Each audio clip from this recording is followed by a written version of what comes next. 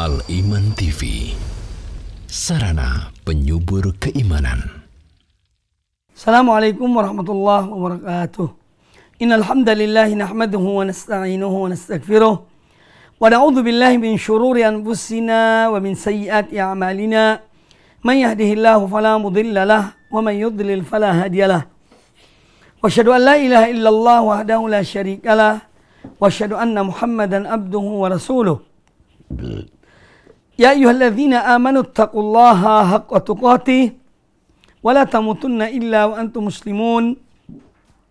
يا أيها الناس اتقوا ربكم الذي خلقكم من نفس واحدة وخلق منها زوجها وبث منهما رجالا كثيرا ونساء. واتقوا الله الذي تساءلون به والأرحام. إن الله كان عليكم رقيبا. يا أيها الذين آمنوا اتقوا الله وقولوا قولا سديدا. يصلح لكم أعمالكم ويغفر لكم ذنوبكم ومن يطع الله ورسوله فقد فاز فوزا عظيما أما بعد kaum muslimin dan kaum muslimat rahimani wa rahimakumullah Alhamdulillah pada kesempatan yang baik ini kita kembali dipertemukan oleh Allah Subhanahu wa taala di dalam majelis ilmu yaitu kajian kitab Usulul Iman fi Dhawil Kitab wa Sunnah yaitu prinsip-prinsip dasar keimanan ditinjau dari Al-Qur'anul Karim dan hadis-hadis Nabi sallallahu alaihi wa alihi wasallam. Pada pertemuan yang lalu kita telah membahas tentang uh, beberapa hal yang dilarang ya seputar kuburan. Ya. Dan telah kita dengar bersama hadis Anas bin Malik radhiyallahu anhu yang mana beliau berkata Qala Rasulullah sallallahu alaihi wasallam Rasulullah sallallahu alaihi wasallam bersabda Kuntu nahaitukum an ziyaratil kubur Dahulu aku melarang kalian dari menziarahi kuburan. Ala fazuruha Eh, maka kemudian ketahuilah silahkan kalian menziarahi kubur. Fa innaha turiqqu al-qalba karena sungguhnya ziarah kubur itu akan melembutkan hati. Akan melembutkan hati. Wa tudmi'ul aina dan akan mengucurkan air mata. Jadi ketika seorang berziarah ke kuburan, dia mengingat akan kematian, ya, ini akan meneteskan air mata. Wa tudzakiru al-akhirata dan ziarah kubur itu akan mengingatkan seorang kepada akhirat. Wala taqulu hujran dan jangan kamu mengatakan hujran. Dan ini telah dijelaskan pada pertemuan yang lalu. Uh, makna dari hujran itu uh, kata al-Imam An-Nawawi rahimahullah taala al-hujru ay al-kalamul batil atau al-kalam sayyi. Jadi ya, itu ucapan yang batil, ucapan yang jelek ya. Jadi kita dilarang ketika ziarah kubur itu mengucapkan kalimat-kalimat yang tidak sepatutnya diucapkan. Hadis ini telah kita bahas. Hadis riwayat Imam al, al uh, Imam Al Hakim di dalam kitab Al Mustadrak. Nah sekarang uh, ada hal-hal salah satunya yang disebutkan dalam hadis ini yaitu hal-hal yang dilarang oleh Nabi Alaihissalam ketika seorang ziarah ke kuburan. Ada hal-hal yang patut untuk kita ketahui, patut untuk kita pelajari, ya, agar supaya kita betul-betul menjaga adab-adab ketika kita ziarah ke kuburan kaum muslimin atau kuburan keluarga kita, sanak famili kita yang kita datang ziarah ke kuburan mereka. Yang pertama, an-nahyu an qawli al-hujri inda ziaratil kubur. Yang pertama larangan mengucapkan perkataan-perkataan yang dilarang secara syar'i. Ketika kita ziarah kubur. Kata para penulis kitab ini, waqad taqaddama qauluhu sallallahu alaihi wasallam wala taqulu hujran dan telah disebutkan hadis Rasulullah sallallahu alaihi wasallam di antara yang beliau larang seorang ketika ziarah kubur adalah sabda beliau dalam hadis yang baru saya bacakan tadi wala taqulu hujran. Wala taqulu hujran. Ha jim ra. Wal muradu bil hujri kullu amrin mahdhurin syar'an. Kata para ulama yang dimaksud dengan al hujri adalah setiap perkara yang terlarang secara syar'i. Kita tidak boleh melakukannya ketika di kuburan. Semua hal-hal yang dilarang secara syar'i ada dalilnya dari Al-Quran, dari sunnah Nabi alaihissalam, maka kita tidak boleh melakukan hal tersebut di kuburan. Wa ya'ti fi muqaddimati dhalika asyirku billah. Wa bidu'ail makburin. Wa su'alihim min dunillah. Wal istighatsati bihim. Wa talabil madadi wal afiyati minhum. Di antara hal-hal yang dilarang seorang mengerjakannya di kuburan secara syar'i yang pertama kali adalah asyirku billah. Dilarang seorang hamba melakukan kesyirikan pada Allah Ta'ala di kuburan-kuburan itu. Contohnya apa? Kesyirikan yang dilakukan di kuburan itu adalah doa makburin mendoa, meminta kepada orang-orang yang telah mening, yang telah meninggal. Ya, yang dikubur di kuburan tersebut. Ya, ini tentu tidak dibenarkan. Kalau kita mendoakan mereka, betul. Orang hidup itu mendoakan orang yang telah mening, yang telah meninggal. Karena apabila anak Adam telah meninggal, terputus amal perbuat amal solehnya sebagaimana yang disabdakan oleh Nabi sallallahu alaihi wasallam idza matal insanu in qata'a amaluhu illa min thalathin. Kalau seorang manusia meninggal terputus amalnya. Amal-amal solehnya amal ibadahnya terputus kecuali apa? Tiga perkara. Sodakotin jariah sedekah jariah yang pernah dia berikan ketika dia di dunia au ilmin yuntafa'u bihi. Atau ilmu yang bermanfaat yang diajarkan kepada manusia. Au waladin salihin yad'u atau anak yang soleh yang mendoakan orang orang tuanya. Terputus semua amalnya. Kecuali tiga hal itu. Maka dari itu di antara amalan yang masih memiliki manfaat bagi orang yang telah meninggal adalah doa orang-orang yang hidup untuk mereka. Ya. Jadi kita mendoakan mereka. Jangan sebaliknya. Kita meminta kepada orang yang telah, mening telah meninggal. Wasu'alihim min dunillah. Meminta kepada mereka. Kalau minta itu kepada Allah. Bukan kepada selain Allah. Termasuk al-istighatha bihim meminta agar dikeluarkan dari meminta pertolongan kepada orang-orang telah mati agar mereka mengeluarkan kita dari kesulitan. Ini tidak dibenarkan. Istighosa itu kepada Allah. Sebagaimana Allah taala berfirman id tastaghithuna rabbakum. Ingatlah ketika kalian beristighosa meminta pertolongan di saat yang sulit kepada Rob kalian, kepada Tuhan kalian. Maka istighotha itu kepada Allah. Tidak boleh kepada orang mening, kepada orang yang telah ma, yang telah mati. Ya. Wa talabil madadi wal afiyati minhum. Demikian pula termasuk yang tidak dibolehkan meminta pertolongan dari mereka al-madad dan atau meminta al-afiyah, meminta kesehatan. Ya, dia menyebut nama orang meninggal ya fulan. Wahai penghuni kuburan ini yang bernama fulan, ya. Berikanlah kepada aku kesembuhan. Atau kalau mungkin istrinya sakit, berikan kesembuhan kepada istriku.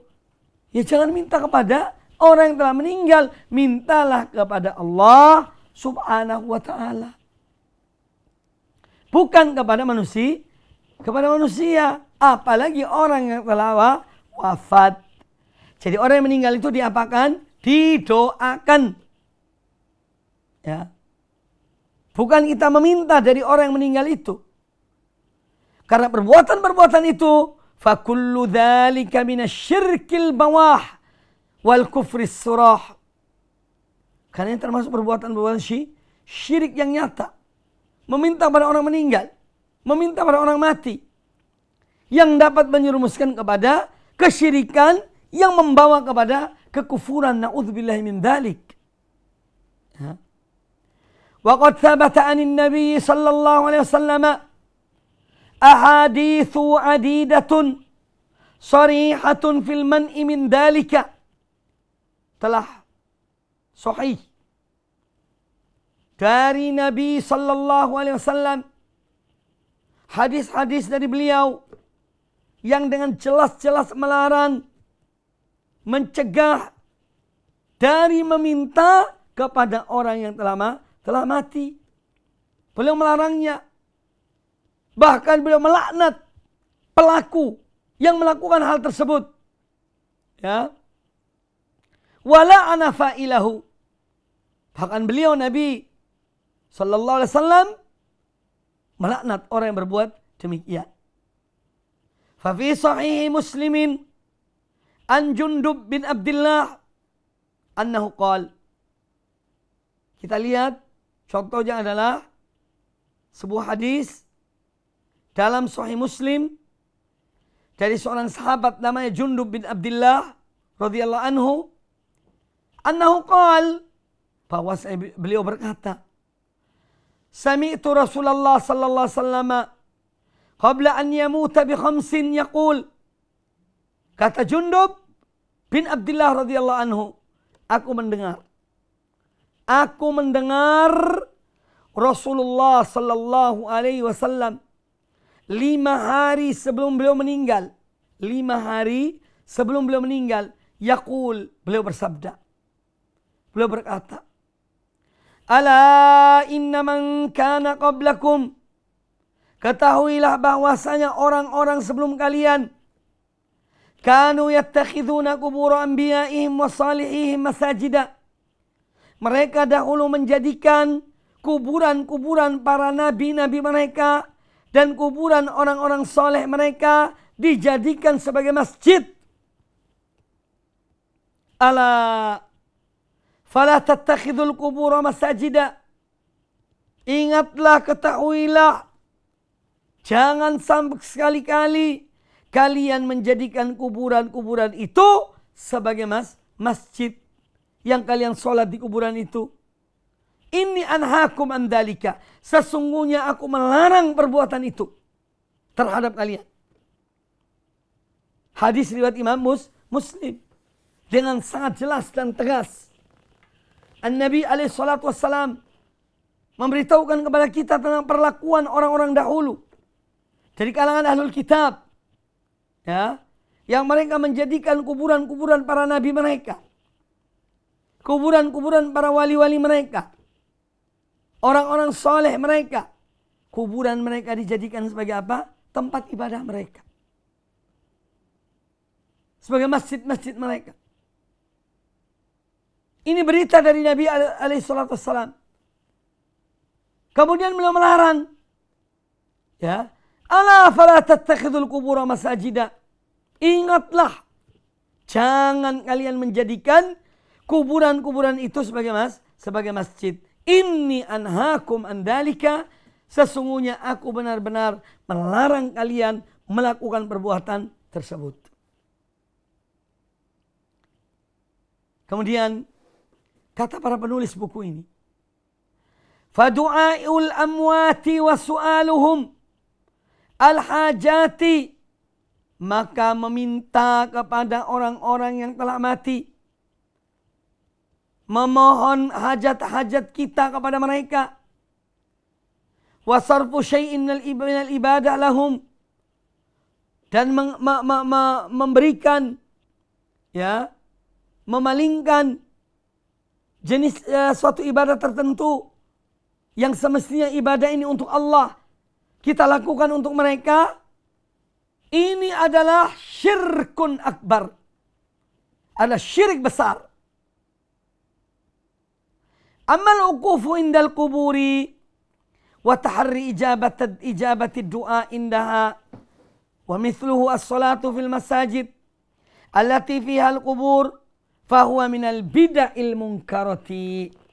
Adapun duduk-duduk di kuburan ya dengan harapan kalau dia berdoa di tempat itu doanya nanti dikabulkan ya. Atau dia sholat di masjid-masjid yang di dalam masjid itu ada kuburan-kuburan ya. Ini adalah termasuk perkara-perkara baru yang diada-adakan dalam umat ini dan perkara-perkara baru itu adalah sesuatu yang yang mungkar yang tidak boleh terjadi sebetulnya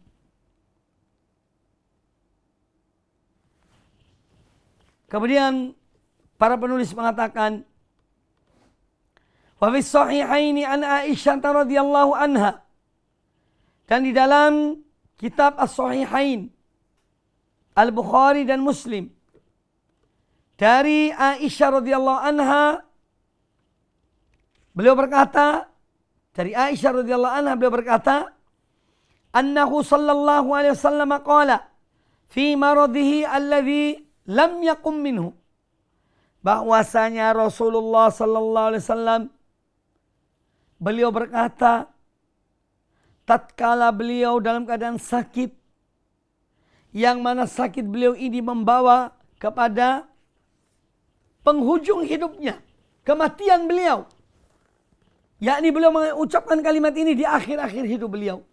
Apa ucapan beliau? La'anallahu al-yahuda wan nasara ittakhadhu kubur anbiya'ihim masajida. Allah melaknat orang-orang Yahudi dan Nasara. Karena apa? Ittakhadhu kubur anbiya'ihim masajida. Mereka menjadikan kuburan-kuburan para nabi-nabi mereka sebagai masjid. Sebagai tempat-tempat ibadah mereka. Nah, oleh karena itu kaum muslimin dan kaum muslimat para pemirsa dan para pendengar televisi dan radio Al-Iman Semoga senantiasa dirahmati Allah Ta'ala. Ini adalah betul-betul peringatan ya kepada kita, kepada kaum muslimin, agar jangan sampai kita melakukan seperti apa yang dilakukan oleh ahlul kitab yang telah dilaknat oleh Allah dan Rasulnya Nabi kita Muhammad Sallallahu Alaihi Wasallam. Ya. Jangan sampai kita meniru perbuatan-perbuatan mereka terhadap kubu, kuburan. Ya. Kita menghormati. Namanya kuburan seorang muslim yang kita hormati itu kuburan. Ya. Karena seorang muslim itu terhormat. Hayyan wa mayyitan. Baik dia dalam keadaan hidup maupun dalam keadaan ma mati. Orang mukmin, orang muslim itu terhor terhormat. Tetapi kita tidak boleh menempatkan mereka yang tidak sesuai dengan status dan kedudukan mereka sebagai hamba Allah Subhanahu wa taala. Orang-orang yang telah meninggal tidak bisa memberikan kepada kita sesuatu. Yang memberi adalah Allah Subhanahu wa taala. Makanya jangan meminta, memohon kepada mereka kepada mereka. Tetapi mohonlah kepada Allah Azza wa Jalla. Zat yang maha hidup Zat yang maha kaya. Zat yang maha pemberi. Zat yang maha kuasa. Yang mengetahui setiap jiwa akan apa yang ada dalam jiwanya. Allah maha mengetahui. Maka jangan mengadu kepada kuburan. Kalau kita menghadapi berbagai macam problematika, masalah-masalah dalam kehidupan ini, maka curhatlah kepada Allah sampaikan kepada Allah. Jangan kepada orang yang telah mening yang telah meninggal. Tapi kita mohon pada Allah Ta'ala. Kita mengadu pada Allah Ta'ala. Supaya kita diselamatkan. Supaya kita diberikan jalan keluar dari kesulitan-kesulitan yang kita ada, kita hadapi. Itu yang seyogianya yang wajib dilakukan oleh seorang muslim. Dia bersandar hanya kepada Allah. Dia bergantung hanya kepada Allah. Dia bertawakal hanya kepada Allah dan tidak kepada selainnya. Ini tauhid. Ini akidah yang diajarkan oleh Islam kepada um, umat manusia. Khususnya kepada umat Islam. Jadi yang pertama yang dilarang yaitu mengucapkan kalimat-kalimat uh, atau melakukan perbuatan-perbuatan yang mengandung kesyirikan di kuburan. Kemudian yang kedua, termasuk yang dilarang ketika seorang berziarah ke kubur Adzabhu wan nahru indal kubur. Dilarang menyembelih hewan ya di kuburan. Karena kadang-kadang ada orang yang bernadar dia menyembelih hewan di kuburan. Ini termasuk yang tidak dibolehkan. Fa in kana dzalika taqarruban ilal ilal makburin liyaqdu hajatan lisyakhsi Fahuwa syirkun akbaru. Kalau seorang melakukan penyembelihan hewan di kuburan, ya, dengan niat dia mendekatkan diri kepada orang yang telah meninggal, supaya orang yang telah meninggal itu memenuhi hajatnya. Ini adalah syirik besar. Wa in kana li ghairi fahuwa al-bid'ah. Fahuwa min al-bid'ah al-khatirah allati hiya min a'zami wasail syirki. Tapi kalau seorang menyembelih hewan di kuburan untuk tujuan yang lain, maka ini termasuk hal-hal yang tidak ada contohnya. Nabi Sallallahu Alaihi Wasallam, para sahabat beliau, para tabiin, dan orang-orang yang mengikuti mereka dengan baik tidak pernah menyembelih di kuburan, menyembelih hewan, entah itu ayam, ya atau kambing, atau sapi, tidak pernah mereka melakukan hal tersebut. Maka jangan kita mengadakan hal-hal yang ba yang baru. Nabi SAW bersabda, La akro fil Islam. Tidak ada akro dalam Islam. Apa sih ini maksudnya dengan akro? Ain kofro. Akro. Qala Abdul Razak, salah seorang ulama hadis Abdul Razak Al-Sanani ya beliau mengatakan kanu yakiruna indal qab indal qabri baqaratan aw syatan dahulu mereka orang-orang jahiliyah itu biasa menyembeli ya hewan berupa sapi atau kambing di kuburan. Makanya dilarang oleh Nabi SAW. La akra fil Islam. Tidak ada lagi penyembelihan binatang di kubur, di kuburan dalam Islam ini. Jadi itu yang diajarkan oleh Nabi alaihissalatu wassalam. Kemudian yang ketiga, keempat, kelima, keenam, dan ketujuh yang dilarang berkaitan dengan kuburan adalah raf'uha ziyadatan ala turab al kharij minha dilarang meninggikan kubur itu melebihi dari tanah galiannya. Artinya begini. Ketika kuburan digali, tanah yang dikeluarkan, kemudian mayat dimasukkan, ditimbun. Itu ada tanah yang lebih. Kenapa tanah itu lebih?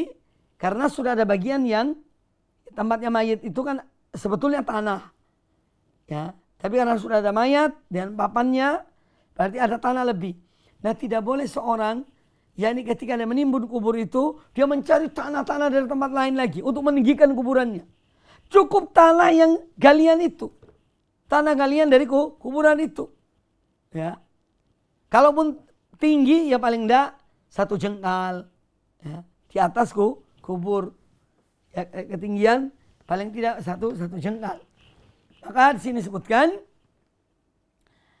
meninggikan kubur melebihi tanah kuburan itu. Ya. Karena kita masih melihat ada sebagian kaum muslimin yang meninggikan kuburan-kuburan keluarga mereka.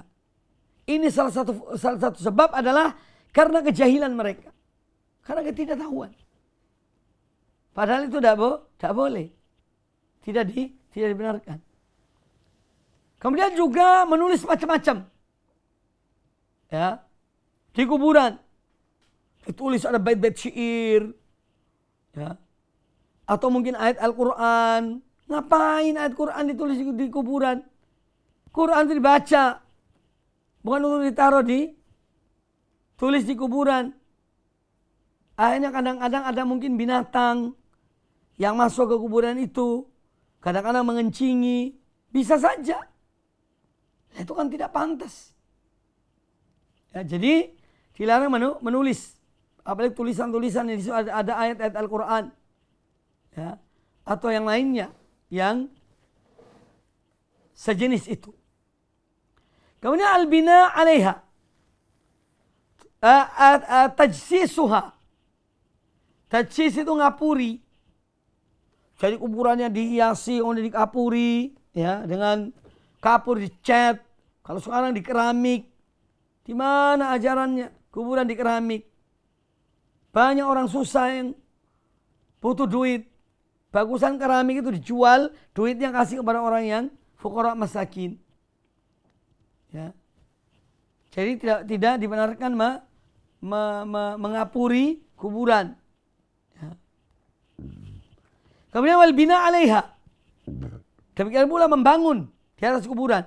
Tak boleh. Wal qu'ud alaiha. Dan duduk di atas kuburan. Ini tidak dibenarkan. Lah kita kadang-kadang jumpai sebagian kaum muslimin, ya semua ini karena faktor ketidaktahuan. Faktor kejahilan dan mereka tidak mau belajar. Sehingga banyak atau tidak sedikit di antara kaum muslimin yang kalau duduk itu duduk di kuburan-kuburan. Ya, di atas kuburan. Fakullu dhalika minal bid'ah illati dhallat bihal yahud wan nasara. Ini semua yang disebutkan tadi itu adalah hal-hal yang mungkar, perbuatan perkara-perkara baru yang mana orang-orang dahulu yang melakukannya dari golongan Yahudi dan Nasara, mereka itu menyimpang dari ajaran Nabi mereka. Ya. Wa kanat min a'zami dzara'ish syirik. Perbuatan-perbuatan membangun, mengecat kuburan, memberi hiasan pada kuburan. Ini termasuk berdampak apa? Bisa mendorong pada kesyiri, kesyirikan. Bisa mendorong pada kesyiri, kesyirikan. Fa'an Jabir radhiyallahu anhu qal dari Jabir radhiyallahu anhu beliau berkata Naha Rasulullah sallallahu alaihi wasallam an yujassasa al-qabru Nabi atau Rasulullah melarang kuburan itu ditinggikan, kemudian dicat, dikapuri. Wa an yuk ada alaih. Dan beliau melarang juga kuburan itu diduduk, diduduki. Wa an yubna alaih atau dibangun di atasnya. Bangunan. Wa an yuzada alaihi atau ditambahi. Tanah dari lain tempat taruh di kuburan itu. Sehingga menjadi tinggi kayak gunung. Au yuktab alaih atau dicat ditulis tulisan-tulisan di kuburan tersebut. Hadis sahih riwayat Imam Muslim, Abu Dawud dan Al-Ha, Al-Hakim. Jadi itu tujuh poin yang dilarang berkaitan dengan kuburan. Kemudian yang kedelapan, wassalatu ilal kuburi wa indaha. Dia pula seorang dia sholat menghadap ke kuburan atau di halaman kuburan. Ini tidak dibenarkan. Kecuali kalau seorang datang karena dia belum mensolatkan jenazah. Misalnya orang tuanya yang meninggal. Ya. Maka boleh seorang yang belum yang terlambat mensolatkan jenazah kerabatnya atau temannya, dia boleh datang ke kuburan sholat jenazah. Di kuburan tersebut. Boleh.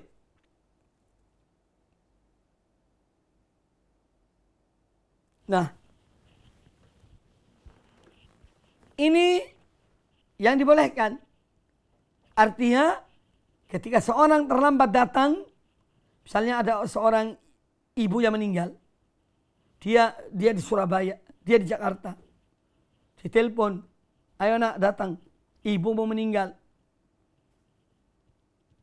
Datang karena suatu hal dia terlambat. Sehingga dia tidak mendapatkan jenazah orang tuanya. Sudah dikuburkan. Jenazah ibunya. Nah dalam kondisi seperti ini, ketika dia datang, ya karena dia terlambat, Ketika dia datang, dia berwudu, kemudian sholat jenazah di kuburan ibunya. Itu tidak mengapa, tidak mengapa, itu boleh. Tapi yang dimaksud sholat di sini adalah sholat-sholat yang lima waktu, sholat sunnah atau sholat lima waktu, ada sujudnya, ada rukuknya. Ya, ini tentu tidak dibenarkan. Fa'ad Abi Marsad Al-Ghanawi Qal kata beliau Sami'tu Rasulullah sallallahu alaihi wasallam yaqul Aku mendengar Rasulullah sallallahu alaihi wasallam bersabda La tusalli ila al-quburi wa la tajlisu 'alaiha Jangan kamu salat menghadap ke kuburan dan jangan pula kalian duduk di atas kuburan. Hadis sahih riwayat Imam Muslim. Wa an Abi Sa'id Al-Khudri radhiyallahu anhu qala dan dari sahabat yang namanya Abu Sa'id Al-Khudri. Semoga ridho Allah atas beliau. Beliau berkata, Qala Rasulullah sallallahu alaihi wasallam Rasulullah sallallahu alaihi wasallam bersabda, Al-ardu kulluha mas masjidun. Bumi ini semuanya masjid. Artinya seorang boleh sholat di mana saja. Illa al-maqbarah wal hammam kecuali di kuburan dan di tempat pemandi pemandian. Al hammam di sini artinya tempat pemandi pemandian. Tak boleh. Ya. Hadis riwayat Imam Abi Daud dan Imam uh, Tirmidzi. Ya, jadi Nabi SAW melarang. Al-ardu kulluha masjid. Bum, Bumi ini semua masjid. Artinya seorang misalnya masuk waktu sholat, dia ada di sawahnya. Ya. Maka dia bersih-bersih, kemudian sholat. Sholat di ladangnya. Atau dia bepergian musafir. Masuk waktu sholat. Tinggal berhenti, sholat di situ. Jadi al-ardu kulluha masjidun illa al-maqbarah wal hammam. Ya bumi bumi ini semuanya adalah masjid kecuali dua hal yang tidak boleh dilakukan solat padanya. Kuburan dan al-hammam di tempat pemandian-pemandian umum. Di tempat pemandian-pemandian umum. Kemudian yang kesembilan. Kita hal-hal yang dilarang berkaitan dengan kuburan. Bina'ul masajid alaiha. Membangun masjid di atas kuburan. Ya. Dan alasan untuk menghormati orang yang telah meninggal. Tidak boleh. Masjid ada tempatnya, kuburan ada tempatnya. Jangan membangun masjid di atas kubur, kuburan. Ya. Karena apa? Wa bid'atun wa dhalalatul yahudi wa nasara. Karena hal ini juga merupakan perbuatan orang-orang dahulu. Yahudi dan Nasara yang menyimpang dari jalan Allah dan Rasul mereka. Ya. Makanya kata Nabi alaihissalatu wassalam, La'anallahu al-yahuda wan nasara ittakhadhu kubur anbiya'ihim masajid. Allah melaknat orang-orang Yahudi dan Nasara.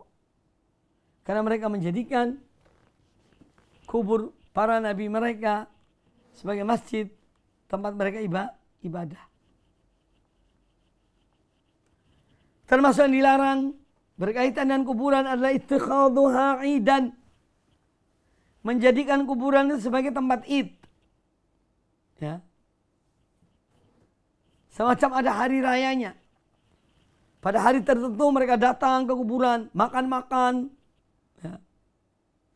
Ini, ini termasuk hal yang mungkar. Ya, wa huwa minal bid'ai allati ja'an nahyu anha. Ini termasuk perkara-perkara baru yang jelas telah dilarang oleh Nabi alaihissalam li'idhami karena dampaknya amat besar. Orang bisa syirik gara-gara perbuatan ini.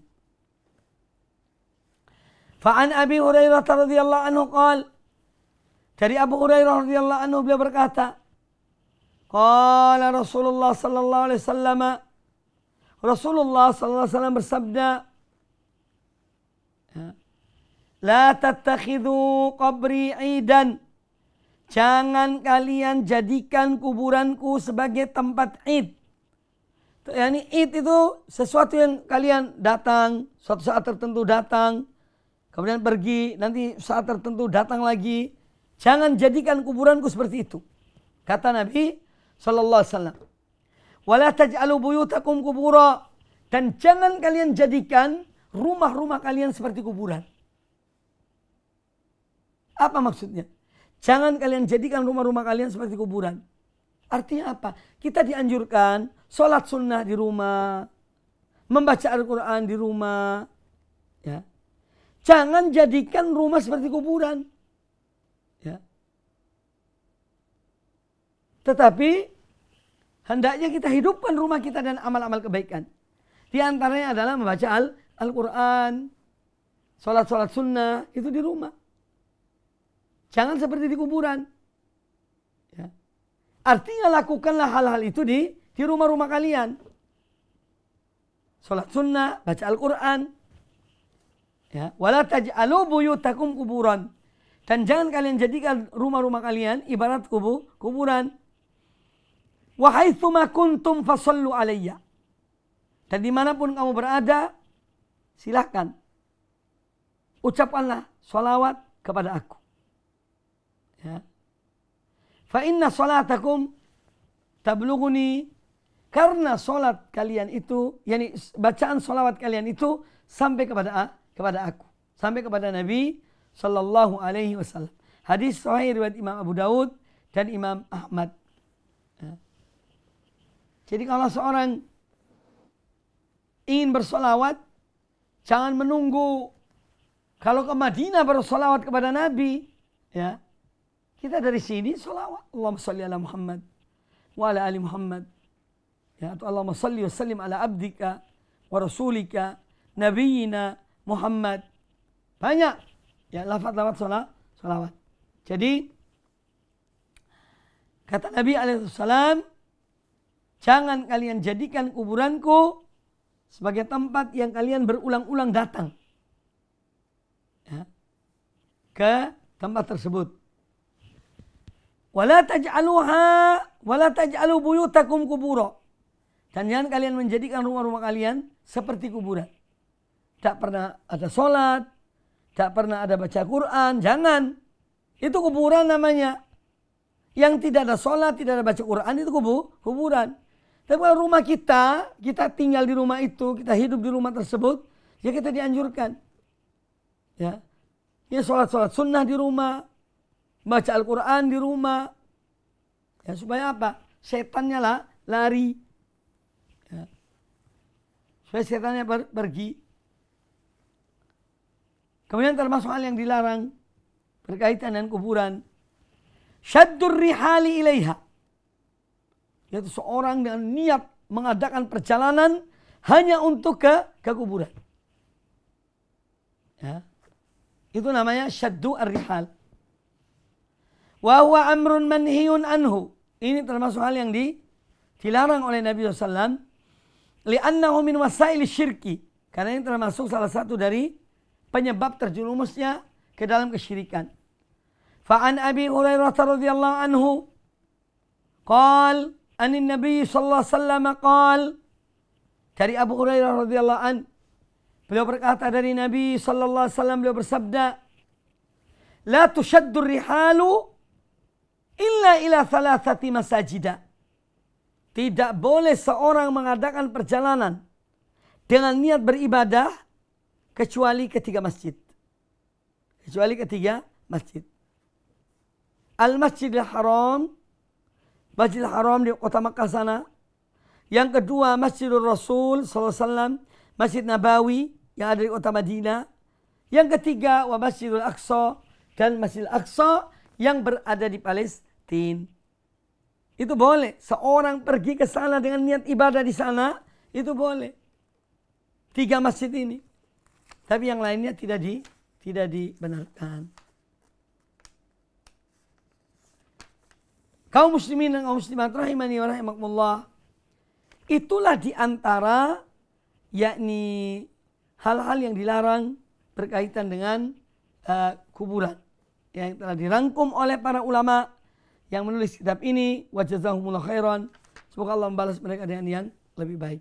Baik kaum muslimin dan kaum muslimat para pemirsa dan para pendengar televisi dan radio Al-Iman di mana pun anda berada Alhamdulillah semoga ilmu yang kita pelajari ini ya dan yang lainnya memberikan manfaat kepada kita.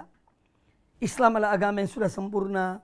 Dia mengajarkan adab-adab dalam semua aspek kehidupan ya adab kita kepada Allah, adab kita kepada Nabi SAW, adab kita ketika masuk rumah, adab kita ketika masuk masjid, adab kita ketika uh, ziarah kubur dan yang lainnya. Semua sudah diatur dengan sebaik-baiknya oleh uh, Islam yang dibawa oleh Nabi kita Muhammad Wasallam. Maka marilah kita terus mempelajarinya dan kita mengamalkan semampu kita.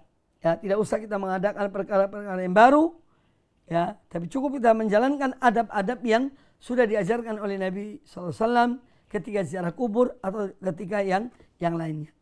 Pelajari terus dan mudah-mudahan Allah menambah pada kita ilmu yang bermanfaat dan amal yang soleh. Dan akhirnya kami ucapkan jazakumullah khairan kepada para pendengar yang telah ikut aktif mendengar dan me, me, me, me, me, menghadiri majelis ini. Semoga Allah mencatat sebagai salah satu di antara amal kebaikan dan sebagai pemberat timbangan amal-amal kebaikan kita semuanya. Aku qouli hadza terus belajar berdasarkan Quran dan sunnah dan pemahaman para salafus saleh radhiyallahu anhum ajma'in.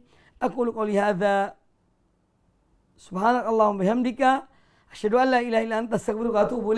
Wa sallallahu wa ala nabiyyina wa ala alihi ajma'in. Demikian, Assalamualaikum warahmatullahi wabarakatuh. Dukung channel kami dengan like, subscribe, dan aktifkan notifikasi agar kamu tidak ketinggalan video-video menarik lainnya.